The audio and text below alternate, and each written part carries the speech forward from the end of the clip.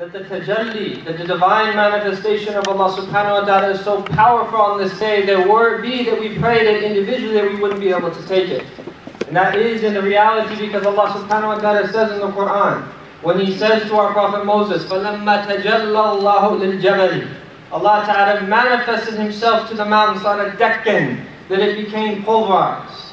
And this is a reality that we come to understand the true nature of reality that we are here that we've been created to understand. Is that we are not just here abath, we're not just here in vain.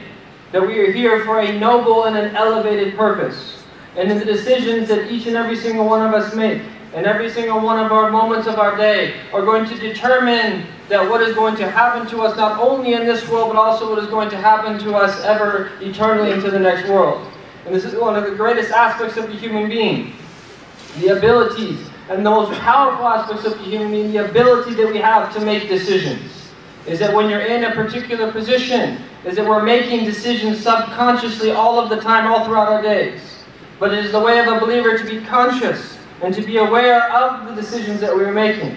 And oftentimes that if we're not aware of the ruse of our lower nature, the ruse of our soul and the ruse of the wasawis and the whisperings of shaitan, we might find ourselves making decisions that are not well thought through. We might find ourselves making decisions informed by other than what Allah Ta'ala has revealed to us in His book and has told us upon the tongue of our Prophet Sallallahu Alaihi Wasallam.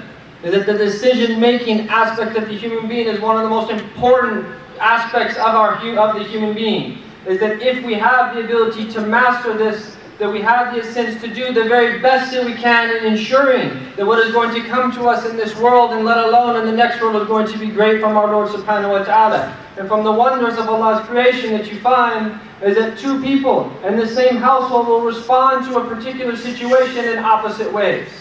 That for one person it will be a means for them to be completely cut off and rejected, and for someone else will see that differently, it will be a means for them to draw near to Allah subhanahu wa ta'ala. The way that we perceive, the way that we interpret, every single one of us has a modus operandi, a way that we do things, a methodology, whether or not that it is according to the Sunnah of our Prophet ﷺ, embedded in the understanding of the Quran or not, this is the big question that you and I have to ask ourselves. To what extent is each and every single decision that we make that help us in this quest and to fulfill the whole purpose that we've been sent here in Allah subhanahu wa ta'ala in this creation that He's given us. And one of the most important concepts that relates to this is that we have to understand is that if there's decisions that we make that are in accordance with what Allah Ta'ala has revealed to His Prophet Sallallahu is that we are setting ourselves up to attain what is called wilayah. And this should be something that we know very well, theoretically at least. We should be very well in tune that there are awliya of Allah. There are people that Allah subhanahu wa ta'ala has selected. There's people that He has chosen. And wilayah is kasbi. It's not like prophecy, which is wahbi. Prophecy is something that is a divine gift. But wilayah is something kasbi. And in reality, everything that is kasbi is wahbi, but that's another story. But it's kasbi in the sense that you and I, that the human beings earn it.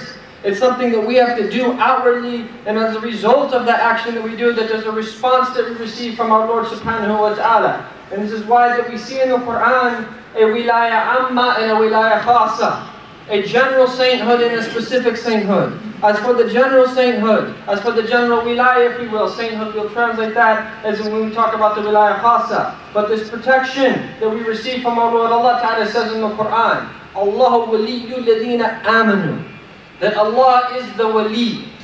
He is the patron, He is the protector, الَّذِينَ آمَنُوا, of those who believe. That وَالَّذِينَ كَفَرُوا أَوْلِيَاهُمْ يُخْرِجُهُمْ مِنَ الظُّلُمَاتِ إِلَى النُّورِ What is the reality of Allah Ta'ala being our wali is that He takes them from the darknesses, the shadows, into the light. وَالَّذِينَ كَفَرُوا And that as for those who disbelieve, awliya'um at that their awliya, their patrons, their projectors are these taghut, these false deities, which we will get to the meanings of it, that has the opposite effect. يُخْرِجُونَهُم مِّنَ النُّورِ إِلَى الظُّلِمَاتِ Is that they take them from the light into all of these successive darknesses. So we see one group juxtaposed to the other group. Is that we have this first group that Allah Ta'ala is their wali. And the reality of this is that what? Is that Allah Ta'ala will take them from the darkness into the light. And this is something that is very important for us, not just metaphysically speaking, and all of the symbols and meanings that underlying the various shades of understanding we have of darkness and light. But there's a reality to light. There's a reality right now, here as we sit. If we're tuning our hearts in to the reality of the day of Jum'ah, that your heart is being enlightened, that light is touching your heart. Right now as we speak, if you tune in, there's a reality to this. You will leave today with stronger iman than you would before you came, if your heart is tuned in. Every prayer that you pray, it's increasing light upon your heart. That every single time that you say Subhanallah, Alhamdulillah, wa la ilaha illallah, Akbar, any of the baqiyat al-salihat, you're increasing the light in your heart. And the light in your heart, the more light that you have, the stronger iman is because the reality of iman is light. There's a direct correlation between these two. And light for us is very important. But there's also darkness. And even though in a Manichaean sense we don't believe as dualists do in this, this ever struggle between darkness and light, Allah Ta'ala has is qadir ala kulli shay, but there's a reality to darkness and light and there is a competition in a sense. In that, as we walk out and based upon the decisions that we make in any given situation, is that we have these different tugs to these different directions. Should you can be tugged in the direction of light or you can be tugged in the direction of darkness. And darkness for us is of many types. And this is why that it's mentioned in the plural. You have the darkness of the wasawis of the shayateen. These whisperings, the reality of the source of all evil that insinuates and that he, when he places his trunk upon your heart and puts a thought in your heart that you think in that moment that you're making the right decision, but the reality is nothing but waswasa from shaitan. Is that the reality of the darkness of following your hawa, the darkness of following your caprice, that these desires that come and then they go. And then if you follow it, that it takes you into something that it might potentially be displeasing to your Lord. There's different types of darkness, the darkness of kufr, the darkness of jahl, of ignorance and all of these other types of darkness. That when you take Allah Ta'ala as your wali, that He will take you out of all of these darknesses and these shadows, and He will take you to the light subhanahu wa ta'ala. But all of this is still the first level of wilayah. And there's other degrees that come after that. Because the opposite of which is what is the process taking place without the blessing of Iman. Because by having Iman in and of itself, is that Allah Ta'ala, He will be your wali that Iman is one of the greatest protecting factors that creates a fortress upon your heart. Just by saying, La ilaha illallah Muhammad Rasulullah. And then we have in weak narrations that says, where the reality of even the most, disbelief, this most disobedient believer to be shown, and where their light to be unveiled, that it would have filled up that which is between the heavens and the earth, from the strength and the intensity and radiance of the light of a believer, even the most disobedient believer. Why? Because of the power of La ilaha illallah. Where La ilaha illallah is placed on one side of the scales, and the seven heavens and the seven earths on the other side of the scale would be outweighed by La ilaha illallah. Is that La ilaha illallah is something profound. It is something deep. That it is something in and of itself that is at the very heart of who we are as believers. And that when you say that, is that there is a protection that comes over you that you receive from your Lord just from the blessing of saying that. And this is why, is that if you haven't experienced what it's like to not say La ilaha illallah, if you've always been in that fortress, oftentimes you don't know what the bitterness and darkness of disbelief is like. It's bitter. Well, Allah Ta'ala tells us about this, that these people that woman yudillahu and those that he wants to lead astray It's as if he is harajan It's as if they can harajan the reality of their heart is that it is narrowed and constricted as if they are trying to ascend up into heaven. This narrowness and darkness that comes from rejection of the truth of La ilaha illallah but when one says it there's a protection involved in it and then after this, Allah Ta'ala also tells us that not just about those who have a wilayah amma, a general protection from Him subhanahu wa ta'ala, there's also a wilayah khasa. There's also a special protection that comes. And this is when our Lord says subhanahu wa ta'ala, Allah inna awliya Allahi la khawfun alayhim wa la hum yahzanun. Indeed, that the awliya of Allah, that they shall not fear, nor shall they grieve. They shall not fear, nor shall they grieve. Meaning that what? Getting back to the decision-making process that the power of decisions is in that you are living in that particular moment. is that you are not excessively troubled by what comes in the past, nor are you excessively worried about what is coming in the future. You are living in that moment. And then to the degree that you let yourself be tangled in the past or preoccupied with the future is to the extent that you are not doing what you can do in that moment, which is the most important thing of all. This is why one of the righteous said, he said that were I to see someone commit a major wrong action and they disappear behind that tree, and then were I to see them a second time, I would think that they were from the awliya, because they might have made a toba and a repentance in that moment that were it to be spread out amongst the people of the earth, it would have sufficed him. The way that our Prophet ﷺ referred to the lady who had the had punishment imposed upon her. And he said, ﷺ, were her tawbah, were her repentance to be able to be dispersed amongst the people of the earth, it would have sufficed them. What kind of tawbah is that? That is a tawbah of deep potency and of deep meaning. And that could happen at any single moment of someone's life is that they decide in that moment to make that decision, to make their life, to change their life, and to do something different, and to be able to take the path of wilayah. And one of the difficulties in this time when we talk about this wilayah khasa, which turns into sainthood, which turns into this special protection that they receive from our Lord subhanahu wa ta'ala, is that we're lacking examples. We're lacking examples is that we need examples in order for you to, you need examples in order for you to be like that. And you also need environments. And in the secular world in which we live, it's very difficult for this to exist except in small pockets.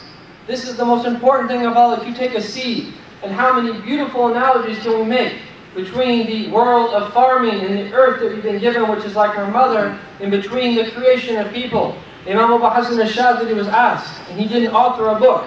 He said, why didn't you ever author a book? And he said, my students are my book. They are who I've authored. In no, one, in no greater capacity we see this except in, in the capacity of the Prophet ﷺ with his companions. He authored them in that sense, وسلم, is that he was the one to make them who they were. He was the one that trained them and nurtured him, them, وسلم, and then from the power of what they had, they disseminated. and the potency of the secret of his transmission has reached us till this day. And this is why they say that if you see a wajh muflih, kayfala tuflih, if you see a face that has been felicitous, then how could you yourself not be felicitous? There's a secret in the nadar. There's a reason why there's a secret in the actual process of seeing. Don't just think it's about that seeing someone's physical body. There's a secret of transmission that is taking place. When you sat with people who have sat with people who have sat with people, why was it in the majlis of Rasulullah sallallahu when they used to come into his majlis, sometimes they wouldn't even know who the Prophet was. One, because of his humility, but two, that the light, the, the radiant light that was in his face was also in the faces of the companions. And as the Arab says, that your face is your sahif, it is your scrolls. Is that your face is indicative. سِيمَاهُمْ فِي وُجُوهِمْ مِنْ أَثَرِ السُّجُودِ is that the their traces, their signs are in their faces from their signs are in their faces from the traces of prostration. There's a reality to this transmission. And this is why the most important thing of all that we all need to be thinking about here as communities anywhere on the earth. This doesn't just relate to the United States of America. Wherever Muslims are, where are the environments that are going to be able to produce and to cultivate and to grow people that become awliya of Allah subhanahu wa ta'ala that these are the most important people that we need to have on, on the face of this earth. Awliya, Salihin, Ulama, people that know this religion outwardly and inwardly, people that are preserving the inheritance of the Prophet outwardly and preserving the inheritance of Rasulullah inwardly. Without these people, khalas, what is the meaning of existence? This is the most important thing of all is it to have these people in traditional societies where many of you are from. If you go back home to Morocco or anywhere across North Africa, if you go back home to the Arabian Peninsula, if you go back home to places like Turkey, all through the subcontinent, the different places where Muslims have lived historically, is that people know who the righteous are. That people know that who are the people that they need to go to when they want someone to pray for them. That this is something that was part and parcel of the tradition and what was being passed down to the next generation. They used to take their children to the righteous. When they were born, they wanted the righteous to name their children. There's a deep blessing in this. This is instituted from the time of our Prophet himself. But where are these environments that we're trying to create? That if you take a seed and you just throw it on the concrete, it's obviously not going to grow. Is that you have to have the right soil, and you have to put the seed a certain distance underneath the surface of the earth. And then you need to cultivate it and not underwater it or overwater it. You need to take care of it. And sometimes that you need to place a stick in order for it to help it grow at first. And so forth and so on until it eventually bears fruit. And this type of investment is the most difficult type of investment because you're not going to see true fruits except for 7, 10, 15 years down the line. Is that this community that we're all living in, and many of these young people here now that are attending the Jummah, were not to be some of those that came before, these people wouldn't be here in this masjid right now, taking part with you. It would be like most other masjids where you go, where 90% of the people there are just 40, 50, 60 years old and over. What took place in this community to allow some of these young people here, that who knows what they would be doing, were not to be that they met these enlightened individuals that were a, there was a catalyst for them to be able to dedicate themselves to their Lord.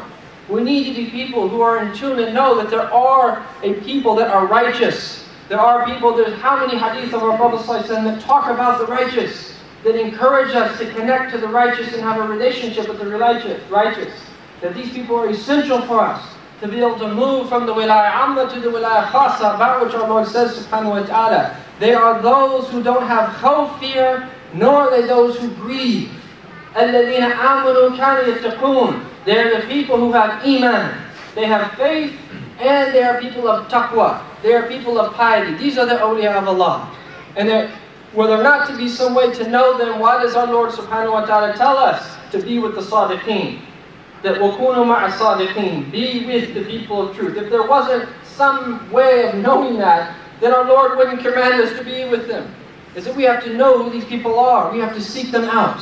And that we have to be people who desire what they desire. And that they then recount what they recounted and tell others what they've told us. Because then Allah Ta'ala goes on to say that that الَّذِينَ آمَنُوا كَانُوا يَتَّقُونَ لَهُمُ الْبُشْرَى فِي الْحَيَاةِ الدُّنْيَا وَفِي الْآخِرَةِ they will have glad tidings in this world and before the next. In this world and in the next. What is this bushra that our Lord is telling us about subhanahu wa ta'ala? Read what the commentators in the Mufassirin say. Is that it's a number of things. One is that the greatest sign of all is that there's talk, There's obedience. One of the secrets of obedience is, is that our Lord has given us a way for us to be able to overcome our caprice. The sunnah of our Prophet wa one of the underlying wisdoms of every single individual ruling of the sacred law, one of the great wisdoms is, is this to protect you against the evil of your own caprice. About which that our Lord subhanahu wa ta'ala says it can be taken as a Lord other than a God subhanahu wa ta'ala. And it also is one of the greatest ways for us to be led astray. Is that we have a sharia. We have a way that we can make ourselves adhere to the divine will of our Lord subhanahu wa ta'ala. This is one of the greatest aspects of this bushra. But there's many others as well. Everything that Allah promises in the Quran to the muttaqeen, this is from the bushra. From is having the honor of faith. From being someone who has karama and who is honorable in the sight of Allah Ta'ala. Being someone who's been given victory. And there's all different meanings of being given victory. And the most important victory that we can be given is victory against our own self. Because how many times a day does our self conquer us? is that we think that we're men, and we think that we're strong, and we think this, but we can't even overcome our own selves. Is that no man is truly a man unless he can conquer his own self. Until you and I continue struggling with our own selves, and the speaker has more problems with this than anyone else, is that not one person in this room is willing to be called a rajul unless you can conquer your own self. Until you are someone that can stand up against your own passions and say no and hold back you can refrain from it dragging you into the depths of something that is more befitting of animals or into something that is haram and will distance you from your Lord. That these are the meanings that Allah Ta'ala says. Bushra also has other meanings That the sweetness of faith that Allah puts in their heart, that is a bushra in this world. That the glad tidings that they receive, as our Prophet said, sallallahu alayhi wa sallam, Prophecy is ended, but what remains are these givers of glad tidings. What are these mubashirat ya Rasulullah? It is a ru'ya salihah. It is a good vision that someone has sees, يَرَاهَ الْمُؤْمِنْ أَوْ تُرَى That he sees or someone sees for them. When was the last time someone gave us a bushra that, of a good a dream that we've had? Dreams are real. They're very real. Visions are real. The scholars have dealt with it in the books. Look at the numerous commentaries from the greatest traditional scholars about these ahadith and what they say about it that these are real. When was the last time we saw a noble vision? When was the last time we saw our Prophet or one of the Sahaba, or one of the righteous, or something that was at least that something to motivate us? When was the last time we saw what these things are? If we're not seeing these things regularly, it means we haven't entered into this category yet. And it means that we have to rectify the way that we view the world and then practically how we're implementing it if we're going to be able to taste the sweetness of these realities. That and he says subhanahu wa ta'ala, لَهُمُ الْبُشْرَى فِي الْحَيَاةِ الدُّنْيَا وَفِي الْآخِرَةِ They will have this bushra in this world and the greatest aspect of that bushra is when they take their last breath. Is that they either see their place in paradise or they hear the glad tidings from an angel.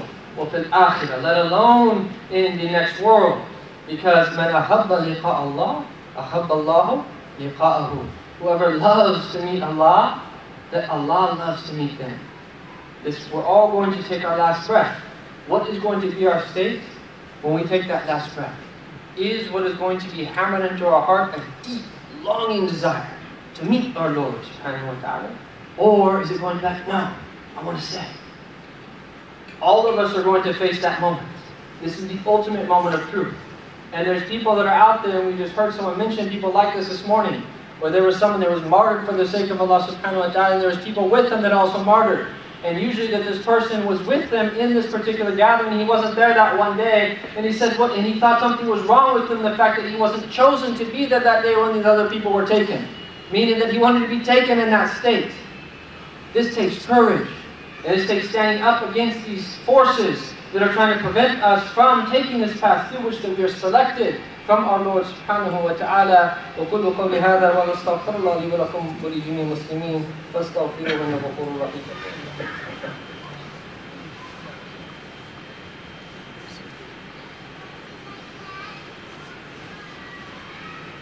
الحمد لله الحمد لله رب العالمين وأفضل الصلاة وتم التسليم على سيدنا ومولانا محمد وعلى آله وصحبه وسلم أجمعين.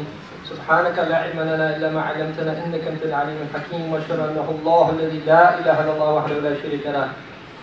وأشهد أن سيدنا محمد عبده ورسوله. أما بعد يا عباد الله أني أوصيكم ونفسي إياي بتقوى الله. In conclusion, that we are right around the Ramadan is right around the corner. We are in a blessed month.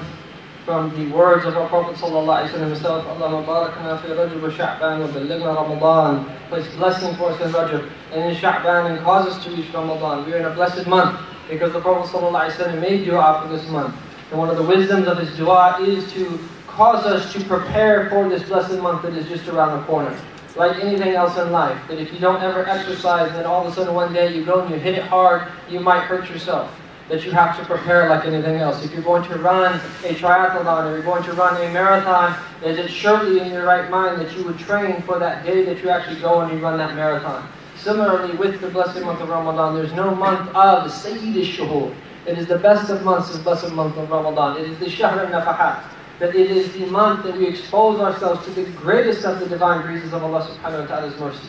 Of all of the other aspects of the merit of this blessed month, that we have to take this seriously. It's right around the corner and that we have to prepare ourselves mentally and physically, and we have to be ready for this day, that for that first night, boom, as soon as that first night comes in, is that we are ready to exert ourselves in a way that we don't exert ourselves in the remaining part of the year. And if you exert yourself in Ramadan and you give it more than what you give your normal days, that you will find a blessing that pervades all of the other days of the year from the blessing of what you exerted in that blessed month of Ramadan. Just as if you give to the day of Jummah, that which you don't give to even the other days, you have a blessing that extends through the remaining part of the week from the blessing of what you exerted. That this is what our Prophet ﷺ says, إذا سلمت الجمعة سلمت بقية الأيام وإذا سلم رمضان سلمت بقية السنة as he said, sallallahu alayhi wa sallam, this is a very blessed time. May Allah subhanahu wa ta'ala that fill our hearts with iman. Bless us to be people of taqwa. And bless our hearts to be able to be attached to the salihin with the hikmah of salihin. As the prophets themselves As said in the book of Allah subhanahu wa ta'ala, cause us to be attached and connected to the salihin. That إن الله وملائكته يصلون عليهم على النبي. يا أيها الذين آمنوا صلوا عليه وسلموا تسليما. اللهم صل وسلم على سيدنا محمد وعلى آل سيدنا محمد كما صليت على سيدنا إبراهيم وعلى آل سيدنا إبراهيم. وبارك على سيدنا محمد وعلى آل سيدنا محمد كما باركت على سيدنا إبراهيم وعلى آل سيدنا إبراهيم في العالمين إنك حميد مجيد. ورضي الله تعالى عن سادتنا الخلفاء الراشدين. أبي بكر وعمر وعثمان وعلي وجميع سادة الصحابة الكرام وجميع أهل بيت رسول الله المطهرين من الأرجاس. وعلينا معهم وفيهم برحمتك يا أرحم الراحمين. اللهم اغفر للمؤمنين والمؤمنات المسلمين والمسلمات الأحياء منهم والأموات. ربنا تقبل منا إنك أنت السميع العليم وتب علينا إنك التواب الرحيم. يا أول الأولين يا آخر الآخرين يا ذا القوة المتين ويا رحم المساكين ويا أرحم الراحمين. انجزنا لنا رحمة من عندك. نسعد بها في الدنيا والآخرة. We ask our Lord subhanahu wa ta'ala to fill our hearts with love of khair and iman and light of us to devote ourselves entirely to Him subhanahu wa ta'ala. May Allah subhanahu wa ta'ala give us openings, the openings of the arifin, of us people to devote themselves entirely to this deen.